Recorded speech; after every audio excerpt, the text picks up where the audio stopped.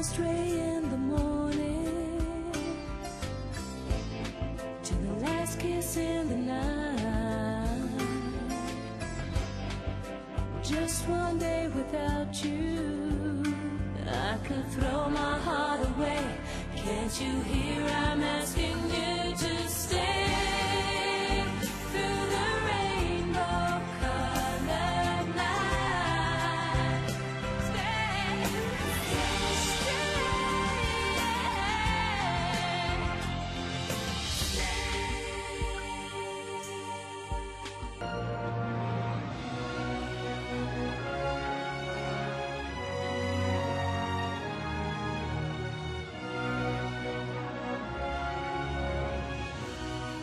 Ja, ich weiß, dass du jetzt Geschäftsführer bist.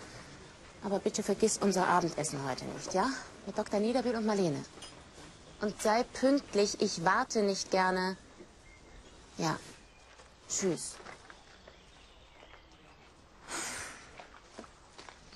Frau Schweizer? Ja, ich nehme noch so eine Tasse, bitte. Ach, Sie sind das, Herr Sonnenbichler. Ja, äh, ich würde Sie gerne was fragen. Ja, dann nehmen Sie doch bitte Platz. Dankeschön. Frau Schweizer, geben Sie eigentlich auch Gesangsstunden? Für wen? Für mich. Für Sie.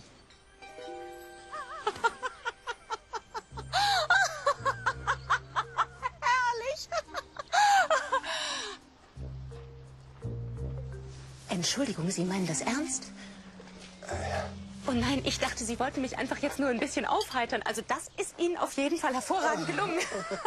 Also ohne Ihnen zu nahe treten zu wollen, Herr Sonnenbichler, finden Sie nicht, dass es für eine Gesangskarriere ein bisschen zu spät ist? Das, das weiß ich natürlich. Es geht auch nur um ein einziges Lied, das ich singen möchte.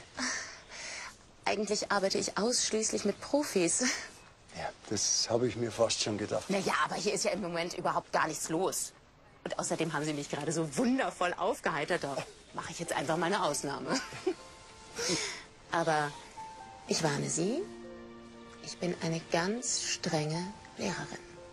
Ich muss Sie warnen. Ich bin leider kein großes Talent. Ach, das lassen Sie mal meine Sorge sein. Ich denke, wir sollten mit ein paar ganz leichten Gesangsübungen anfangen und dann Äh, ginge das noch heute? Na, Sie sind ja ein ganz ein Flotter. Gut, dann könnte ich Ihnen mit 170 Euro die Stunde entgegenkommen. Was? Normalerweise nehme ich 200. Ja, aber das kann ich mir leider nicht leisten. Ach, dann, dann tut's mir jetzt wirklich leid, aber dann kann ich Ihnen nicht helfen. Ach, Marlene, du bist hier, wie schön. Junger Mann, ich hätte gerne ein Rührei mit einem Hauch Schnittlauch, keine Zwiebeln bitte und einen frischen O-Saft, Zimmertemperatur, also kein Eis. Sehr wohl. Wunderbar. Du kannst mir gerne ein bisschen Gesellschaft leisten, aber mir ein bisschen Ruhe, ne? Danke. Ich bin gar nicht da.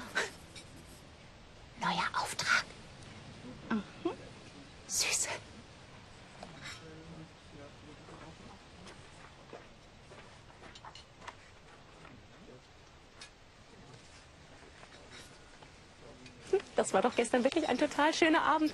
Ich glaube, Dr. Niederbilding hat's richtig gut gefallen.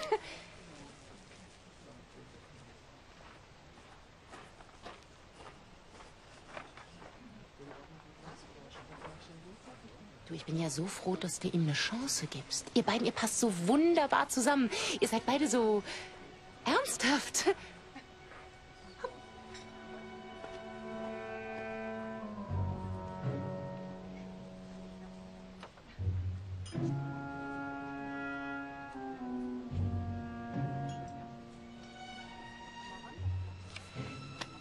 Sag mal, wie wär's denn, wenn wir morgen einfach zusammen nach München fahren? Gotti, jetzt hör mir mal zu. Ich fand den Abend gestern überhaupt nicht nett. Um ganz ehrlich zu sein, fand ich ihn ziemlich langweilig. Du hast die ganze Zeit nur äh, deinen Monolog gehalten, anstatt mit uns ein Gespräch zu suchen. Aha. Ja, und solange das so bleibt, da, da verzichte ich lieber auf solche Pärchenaktionen, okay?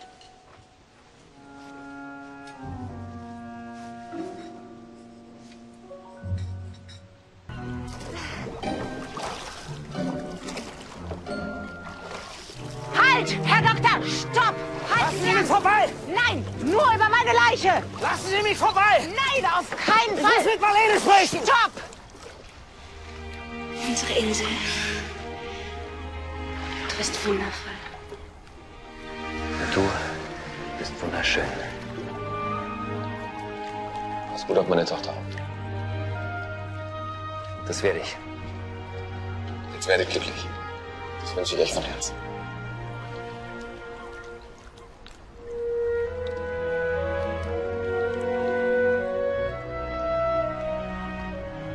Liebe Familie, liebe Freunde, wir haben uns heute an diesem wunderschönen Ort versammelt, um Marlene Schweitzer und Konstantin Riedmüller in den heiligen Bund der Ehe zu geleiten.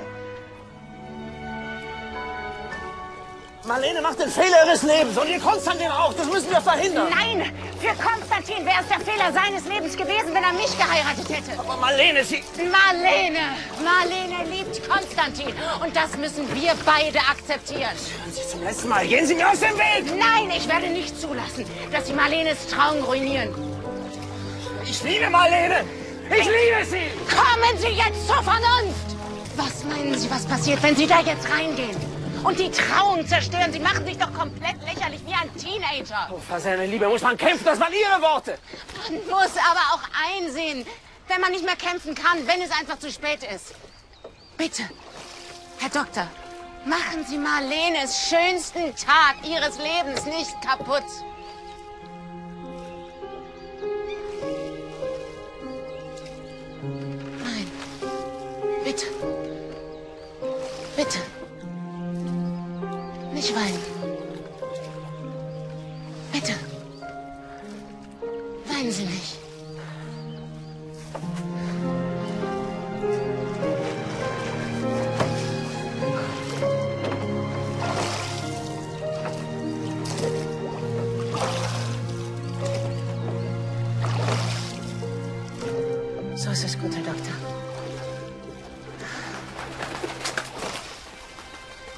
Ach, du dickes Ei.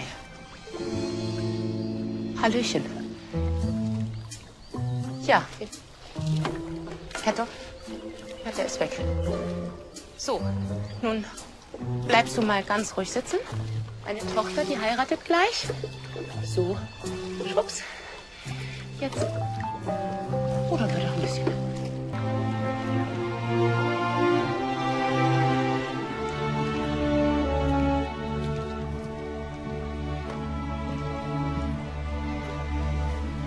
Wo warst du denn? Frag nicht.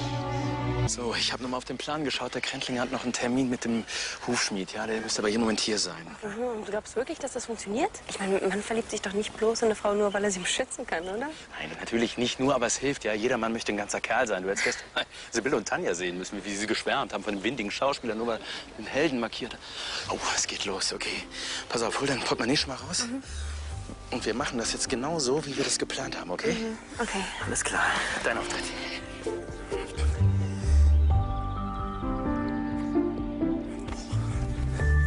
Das ist doch total albern jetzt.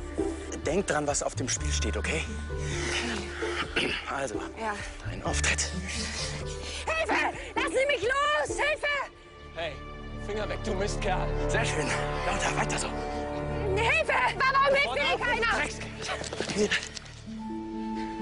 Ist alles okay bei Ihnen? ich Geht's Ihnen weiß nicht, was ich ohne Sie gemacht Den hätte. kaufe ich mir. Äh, äh, Ich weiß. äh,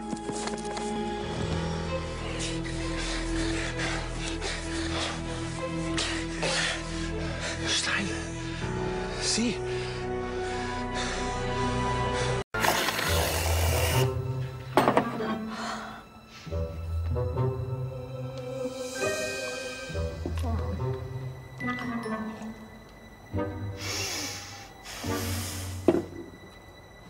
Tut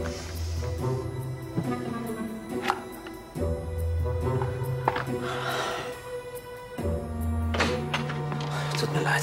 Ich bin aufgehalten worden. Ist alles in Ordnung? Ich esse schon seit einer Stunde und ich habe immer noch Hunger. Vielleicht solltest du lieber aufhören, sonst wird dir noch schlecht.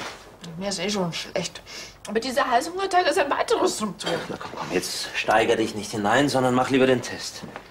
Wozu? Damit rauskommt, was ich eh schon weiß, dass ich schwanger bin. Ja, aber dann hast du die Gewissheit. Mm. Diese Dinge sind gar nicht so zuverlässig. Die Fehlerquote liegt bei. Und jetzt mach dich nicht irre.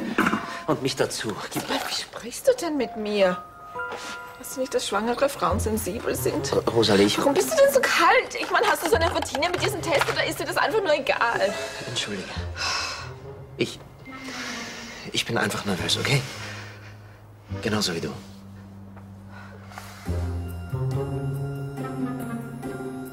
Komutanım.